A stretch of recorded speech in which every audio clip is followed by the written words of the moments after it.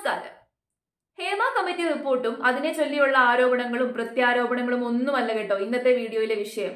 കാരണം അത് നമുക്ക് തൽക്കാലം അങ്ങോട്ട് മാറ്റി നിർത്താം. കാരണം അതിനേക്കാട്ടിൽ ഒരുപാട് ഇമ്പോർട്ടന്റ് ആയിട്ടുള്ള നമ്മൾ അറിഞ്ഞിരിക്കേണ്ട നമ്മുടെ സംസ്ഥാനത്തെക്കുറിച്ചും നമ്മുടെ സാഹചര്യത്തെക്കുറിച്ചും നമ്മൾ അറിഞ്ഞിരിക്കേണ്ട ചെയ്യേണ്ട ഒരുപാട് പ്രധാനപ്പെട്ട കാര്യങ്ങൾ ഉണ്ടായിരുന്നു. ഹേമ കമ്മിറ്റി റിപ്പോർട്ട് റിലീസ് ആവുന്നതിന് മുമ്പ് നമ്മൾ അതിനെ പറ്റിയിട്ടായിരുന്നു ചർച്ച ചെയ്തുകൊണ്ടിരുന്നത്. പക്ഷെ ഇത് റിലീസ് ആയതോടുകൂടി ആ പ്രധാനപ്പെട്ട വിഷയങ്ങളൊക്കെ തന്നെ എന്ത് സംഭവിച്ചു? മുങ്ങിപ്പോയി. നിങ്ങൾ ശ്രദ്ധിച്ചു കഴിഞ്ഞാൽ ഈ ഹേമ കമ്മിറ്റി റിപ്പോർട്ട് വരുന്നതിന് തൊട്ട് മുമ്പ് മുഖ്യമന്ത്രിയുടെ ദുരിതാശ്വാസ ഫണ്ട് അതിനെക്കുറിച്ചൊരു വലിയൊരു ആരോപണം ഉന്നയിച്ചായിരുന്നു അഖിൽ മാല അപ്പൊ ആ ഒരു ആരോപണം ഉന്നയിച്ച സമയത്ത് അതിനെ പറ്റിയിട്ടുള്ള ഡിസ്കഷനും ആ കാര്യങ്ങളെക്കുറിച്ചും ഒക്കെ കൂടുതലായിട്ട് അറിയാനും ചർച്ച ചെയ്യാനും ഒക്കെ മാധ്യമങ്ങൾ ശ്രമിക്കാൻ തുടങ്ങിയ സമയത്താണ് ഈ ഒരു ഹേമ കമ്മിറ്റി റിപ്പോർട്ട് റിലീസ് ആകുന്നത്. അപ്പൊ ഈ ഒരു സാഹചര്യത്തിൽ ഈ ഒരു സമയത്ത് തന്നെ ആ ഒരു റിപ്പോർട്ട് റിലീസ് ആയതിന്റെ പുറകിൽ എന്തെങ്കിലും ഗൂഢതന്ത്രങ്ങളും അജണ്ടയും ഉണ്ടോ എന്നത് നമ്മൾ സംശയിക്കേണ്ടിയിരിക്കുന്നു. അപ്പൊ അത് ഏതായാലും സംശയം മാത്രമായതുകൊണ്ട് തൽക്കാലം അതിനെപ്പറ്റി പറയുന്നില്ല. അപ്പൊ കഴിഞ്ഞ ദിവസം ജനകീയ കോടതി എന്ന് പറയുന്ന ട്വന്റി ഫോർ ന്യൂസിലൊരു പ്രോഗ്രാം ഉണ്ട്. നിങ്ങൾ കണ്ടിട്ടുണ്ടായിരിക്കണം. കോൺസെപ്റ്റ് ഒക്കെ നല്ലതാണ് കേട്ടോ ആ പ്രോഗ്രാമിന്റെ സംഭവം അടിപൊളിയാണ്. പക്ഷേ നമ്മുടെ നാട്ടിലെ മാധ്യമങ്ങൾ അത് ചെയ്യുന്നത് കൊണ്ട് തന്നെ അതിന്റെ ആ ഒരു കോൺസെപ്റ്റിന്റെ യഥാർത്ഥ ഉദ്ദേശം ജനങ്ങളിലേക്ക് എത്തുന്നില്ല. അതായത് ഒരു ജനകീയ കോടതി ഒരു ചോദ്യോത്തര വേള അല്ലെങ്കിൽ ഒരു ഡിബേറ്റ് സെക്ഷൻ വെക്കുക എന്ന് പറയുമ്പോൾ കൃത്യമായിട്ടുള്ള ഉത്തരങ്ങളും കൃത്യമായിട്ടുള്ള ചോദ്യങ്ങളും അവിടെ എന്താണ് ഉയർന്നു വരണം. പക്ഷെ നമ്മുടെ നാട്ടിലെ സാഹചര്യത്തിൽ അങ്ങനെ ഉണ്ടാകാറില്ല. ഇപ്പൊ ഒരു ഡിബേറ്റ് ആണെങ്കിൽ അല്ലെങ്കിൽ ഒരു ചോദ്യോത്തര വേളയാണെങ്കിൽ അതിന്റെ ഒരു കറക്റ്റ് ആയിട്ടുള്ള ഒരു പ്രൊസീജിയറിലൂടെ അല്ല നമ്മുടെ നാട്ടിലെ മാധ്യമങ്ങളൊന്നും നടത്തിക്കൊണ്ടു പോകുന്നത്. ഒരു ഡിബേറ്റ് എന്ന് പറഞ്ഞു കഴിഞ്ഞാൽ എന്താണ്? ഒരു വ്യക്തി ഒരു സ്റ്റേറ്റ്മെന്റ് പറയുകയാണ്. ആ സ്റ്റേറ്റ്മെന്റിനെ എന്ത് ചെയ്യുവാണ്? കൗണ്ടർ ചെയ്തിട്ട് വേറൊരു വ്യക്തി സംസാരിക്കുകയാണ്. അല്ലെങ്കിൽ അതിന്റെ നെഗറ്റീവ് പോസിറ്റീവ് സംസാരിക്കുകയാണ്. പക്ഷേ ഏത് വ്യക്തിയാണോ സംസാരിക്കുന്നത് ആ വ്യക്തി സംസാരിച്ച് അവസാനിപ്പിച്ചതിന് ശേഷം വേണം എന്ത്? ആ ഒരു സ്റ്റേറ്റ്മെന്റിനെ കൗണ്ടർ ചെയ്യാൻ വേണ്ടി. അതല്ല ഇവിടെ നടക്കുന്നത്. ചാനലിലൊക്കെ വലിയ വലിയ കൂലങ്കഷമായിട്ടുള്ള ചർച്ചകൾ നടക്കുന്നത് നമ്മൾ കണ്ടിട്ടുണ്ട്. അത് ഒരാൾ ആ എന്ന് പറയുമ്പോഴേക്കും അപ്പുറത്തെ ആൾ പാ എന്ന് പറഞ്ഞിരിക്കും. പിന്നെ എന്താണ് ആ ഒരു ചർച്ച കൊണ്ടുള്ള ഉദ്ദേശവും എനിക്ക് മനസ്സിലാവുന്നില്ല. അതേ കാര്യം തന്നെയാണ് ഈ ജനകീയ കോടതി എന്ന് പറഞ്ഞ സംഭവത്തിൽ നടക്കുന്നത്. ചോദ്യങ്ങളൊക്കെ വരാറുണ്ട് ഉയർന്നു വരാറുണ്ട്. പക്ഷെ ആ ചോദ്യത്തിന് മാധ്യമങ്ങൾ ആഗ്രഹിക്കുന്ന ഒരു ഉത്തരമല്ല ആ ഒരു വ്യക്തി പറയുന്നത് എന്നുണ്ടെങ്കിൽ അപ്പൊ തന്നെ എന്ത് ചെയ്യുവാണ്? ഫുൾ സ്റ്റോപ്പ് ഇടുവാണ്. കൃത്യമായിട്ട് ഉത്തരം പറയാൻ വേണ്ടി സമ്മതിച്ചില്ലെന്നുണ്ടെങ്കിൽ എന്തിനാണ് ഇങ്ങനെ ഒരു ഷോ കണ്ടക്ട് ചെയ്യുന്നത്? ഒരു കാര്യമില്ല അപ്പൊ ഇത് തന്നെയാണ് കഴിഞ്ഞ ദിവസം അഖിൽ മാരാറെ വെച്ചുകൊണ്ട് ആണ് ആ ഒരു ഷോ നടത്തിയത്. അപ്പം ആ ഒരു ഷോയിൽ ഈ അഖിൽമാരാർ ഉന്നയിച്ച ആരോപണങ്ങളെ കുറിച്ചും അതിനെ എഗിനസ്റ്റ് ആയിട്ട് അതിനെ കൗണ്ടർ ചെയ്യുന്ന രീതിയിലാണ് സംസാരിച്ചത്. അതായത് അഖിൽമാരാറെ കൊണ്ട് തന്നെ അഖിൽമാരാർ ഉന്നയിച്ച ആരോപണങ്ങളെ വെളുപ്പിക്കാൻ വേണ്ടി നോക്കുന്നതായിട്ടാണ് എനിക്ക് ആ ഒരു ഷോ ഫുള്ള് കണ്ടപ്പോൾ തോന്നിയത്. ഇതിനു മുമ്പും ആ പരിപാടി അങ്ങനെയാണോ നടത്തിയിട്ടുള്ളത് എനിക്ക് അറിയില്ല ജനകീയ കോടതി എന്ന് പറഞ്ഞ പരിപാടിയിലെ ആകെ ഒരേ ഒരു എപ്പിസോഡേ ഞാൻ കണ്ടിട്ടുള്ളൂ. അത് ഇന്നലത്തെ ആ ഒരു എപ്പിസോഡാണ് അപ്പൊ അതിനകത്ത് എനിക്ക് മനസ്സിലായത് അഖിൽ മാരാറെ കൊണ്ട് തന്നെ അഖിൽ മാരാർ പറഞ്ഞ ആരോപണങ്ങൾ എന്ത് ചെയ്യുകയാണ്? വെളുപ്പിച്ച് കാണിക്കാൻ വേണ്ടിയിട്ട് ശ്രമിക്കുന്നതായിട്ടാണ്. കാരണം അയാളെ കൊണ്ട് കൃത്യമായിട്ട് ഉത്തരം പറയാൻ വേണ്ടി സമ്മതിക്കുന്നില്ല. ഒരു ചോദ്യം ചോദിച്ച് അയാളുടെ വായിൽ നിന്ന് ഉത്തരം വീഴുന്നതിന് മുമ്പ് അല്ലെങ്കിൽ കംപ്ലീറ്റ് ആകുന്നതിന് മുമ്പ് തുടങ്ങുന്നതിന് മുമ്പ് അടുത്ത ചോദ്യങ്ങൾ അങ്ങ് ചോദിച്ചുകൊണ്ടിരിക്കുകയാണ്.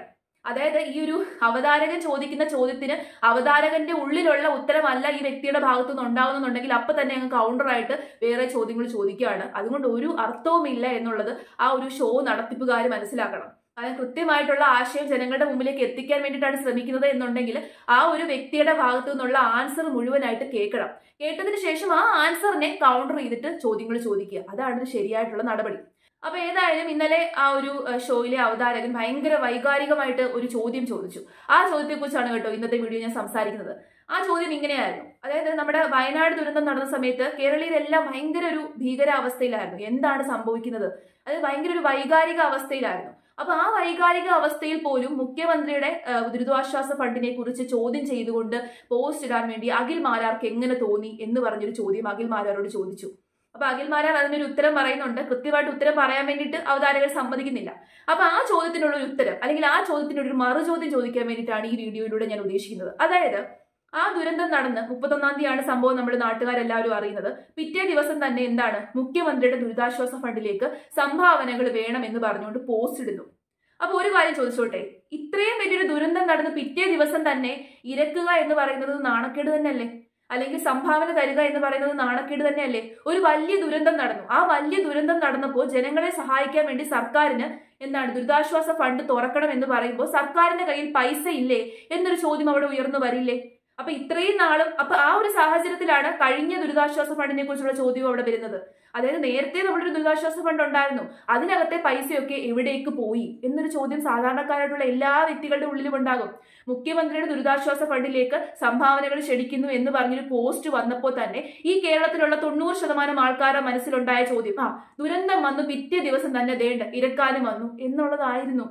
അതിപ്പോ നിങ്ങൾ എത്ര നിഷേധിച്ചു കഴിഞ്ഞാലും അത് തന്നെയാണ്. ഓരോ വ്യക്തിയുടെ മനസ്സിലും ആ ചോദ്യം ഉണ്ടാകും. കേരളത്തിലെ ഇത്രയും വലിയൊരു അപകടം നടന്നിട്ട് ആ ഒരു ദുരന്തത്തിന് വേണ്ടി ചെലവഴിക്കാനുള്ള ഫണ്ട് കേരളത്തിലെ ഖജനാവിൽ ഇല്ല എന്നുണ്ടെങ്കിൽ നമ്മൾ എന്ത് വിശ്വാസത്തോടു കൂടിയിട്ട് ഈ ഗവൺമെന്റിനെ നോക്കിക്കാണും? ഒരു വലിയ പ്രശ്നം വരുമ്പോൾ ആ പ്രശ്നത്തിലേക്ക് ചെലവഴിക്കാനുള്ള പൈസ നമ്മുടെ കയ്യിലില്ല. അതായത് കട്ടപ്പുറത്ത് ഓടുന്ന വണ്ടിയാണ് നമ്മുടെ സംസ്ഥാനം. അപ്പൊ അവിടെ ഒരു ചോദ്യം ഉയർന്നു വരുമോ? ആ ചോദ്യത്തിനുള്ള ഉത്തരം പറയാൻ ഗവൺമെന്റ് തയ്യാറാകണം. അതിന് ബാധ്യസ്ഥതയുണ്ട് ഗവൺമെന്റിന്. ആ ചോദ്യമാണ് അഖിൽമാരാരുടെ ഭാഗത്തു നിന്നുണ്ടായത് അല്ലാതെ വൈകാരികമായിട്ട് നിൽക്കുന്ന സമയത്ത് ആ ദുരന്തത്തിന്റെ ആഘാതം കുറയ്ക്കാനോ അല്ലെങ്കിൽ ആ ദുരന്തത്തിൽ കിടക്കുന്ന ആൾക്കാരെ എന്താണ് നെഗറ്റീവായിട്ട് ചിത്രീകരിക്കാനോ ഒന്നുമല്ല ചോദ്യം ഉയർന്നു വരുന്നത്. കേരളത്തിലുള്ള സാധാരണക്കാരായിട്ടുള്ള എല്ലാ വ്യക്തികളുടെ ഉള്ളിൽ ഉയർന്നു വന്ന ചോദ്യം തന്നെയാണ്. അങ്ങനെയാണ് എന്നുണ്ടെങ്കിൽ എന്തുകൊണ്ടാണ് ഖജനാവിൽ പണമില്ലാത്തത്? ഇങ്ങനെ ദുരിതാശ്വാസ ഫണ്ടിൽ നിന്ന് വാങ്ങിച്ചെങ്കിൽ മാത്രമേ നിങ്ങൾക്ക് ആ ഒരു ദുരന്തത്തിലേക്ക് ചെലവഴിക്കാനുള്ള പൈസ കയ്യിലുള്ളോ എന്നൊരു ചോദ്യം അവിടെ ഉയർന്നു വരും.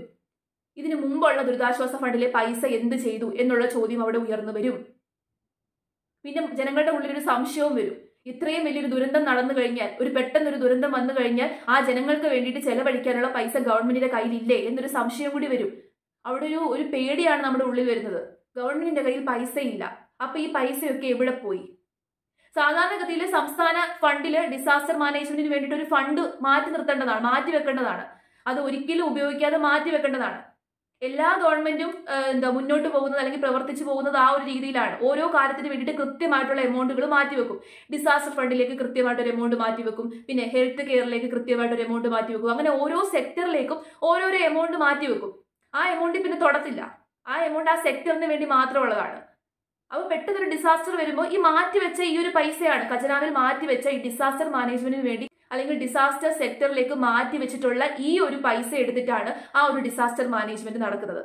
അല്ലെങ്കിൽ ഒരു ഹെൽത്ത് കെയർ എമർജൻസി വന്നു. ഇപ്പൊ കോവിഡ് പോലത്തെ ഒരു വലിയൊരു എമർജൻസി വന്നു. ആ സമയത്ത് എന്താണ്? ഹെൽത്ത് കെയർ സെക്ടറിലേക്ക് മാറ്റി വെച്ചിട്ടുള്ള ആ പൈസ എടുത്താണ് ചെലവഴിക്കുന്നത്. അപ്പം നമ്മുടെ സംസ്ഥാനത്ത് അങ്ങനെ ഓരോ സെക്ടറിലേക്കും പൈസ മാറ്റി വെച്ചിട്ടില്ലേ? അപ്പൊ നമ്മുടെ ഗവൺമെന്റ് ഏത് രീതിയിൽ പ്രവർത്തിക്കുന്നതെന്നാണ് നിങ്ങൾ പറയുന്നത്?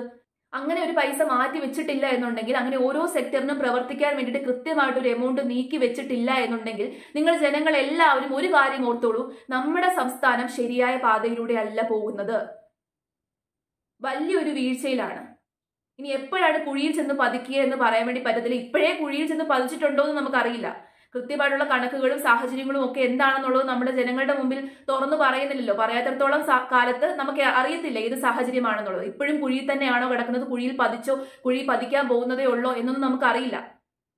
അപ്പൊ നേരായ രീതിയിലല്ല നമ്മുടെ ഗവൺമെന്റും നമ്മുടെ സംസ്ഥാനവും പ്രവർത്തിച്ചു കൊണ്ടുപോകുന്നത്. അതാണ് ഒരു യാഥാർത്ഥ്യം. കാരണം ഏതൊരു സംസ്ഥാന ഗവൺമെന്റ് ആയിക്കോട്ടെ കേന്ദ്ര ഗവൺമെന്റ് ആയിക്കോട്ടെ ഗവൺമെന്റുകൾ പ്രവർത്തിക്കുന്ന രീതി ഇങ്ങനെയാണ്. ഓരോ സെക്ടറിലേക്കും പൈസ മാറ്റി വെച്ചേക്കും നീക്കിയിരിപ്പുണ്ടായിരിക്കും. ആ പൈസ എടുത്താണ് ആ സെക്ടറിൽ എന്തെങ്കിലും പ്രശ്നം ഉണ്ടായി കഴിഞ്ഞാൽ ഇമ്മീഡിയറ്റ് ആയിട്ട് ചെലവാക്കുന്നത്.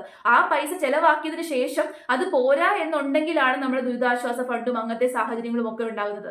ഇപ്പൊ വയനാട് ദുരന്തം വന്നു. ഇമ്മീഡിയറ്റ് ആയിട്ട് ആ ഒരു ഫണ്ട് ഡിസാസ്റ്റർ മാനേജ്മെന്റിൽ കിടക്കുന്ന ആ ഒരു ഫണ്ട് വയനാട് ദുരന്തത്തിലേക്ക് റിലീസ് ചെയ്യും. അതിനുശേഷം ഒരു അഞ്ചാറ് ദിവസം കഴിഞ്ഞതിന് ശേഷമല്ലേ നമ്മൾ ദുരിതാശ്വാസ ഫണ്ടിലേക്ക് പൈസ ഇടൂ എന്നൊക്കെ പറഞ്ഞു വരേണ്ടത്? അതല്ലേ ഒരു ശരിയായ നടപടി? ഈ ചോദ്യങ്ങളൊക്കെ ചോദിക്കുന്ന ആൾക്കാരോട് എനിക്ക് ചോദിക്കാനുള്ള ചോദ്യം ഇതാണ്. അതല്ലേ ശരിയായ നടപടി? അപ്പൊ ഇതിനുള്ള ഉത്തരം ആർക്ക് പറയാൻ സാധിക്കുമോ? അവർ എന്റെ കമന്റ് സെക്ഷനിൽ പറയുക. അപ്പൊ ഇത്രയേ ഉള്ളൂ വീഡിയോ. ആ ഒരു ചോദ്യത്തിന് ഒരു മറുചോദ്യം ചോദിക്കണമെന്ന് എനിക്ക് തോന്നി ആ ചോദ്യം കേട്ട സമയത്ത്. അപ്പൊ ഞാൻ ചോദിച്ച ചോദ്യത്തിൽ എനിക്ക് തോന്നുന്നില്ല. ഞാൻ നെഗറ്റീവായിട്ട് എന്തെങ്കിലും ചോദിച്ചിട്ടുണ്ടോ എന്ന് കൃത്യമായിട്ടുള്ള കാര്യമാണ് ഞാൻ ചോദിച്ചത്. അങ്ങനെ ഫണ്ട് മാറ്റി വെച്ചിട്ടില്ല എന്നുണ്ടെങ്കിൽ നമ്മുടെ ഗവൺമെന്റ് നമ്മുടെ സംസ്ഥാനവും ശരിയായ പാതയിലല്ല പോകുന്നത്. വലിയൊരു തകർച്ചയിൽ തന്നെയാണ്. ഒരു ഗവൺമെന്റ് ശരിയായ രീതിയിൽ പ്രവർത്തിക്കേണ്ടത് ഈ രീതിയിലാണ്.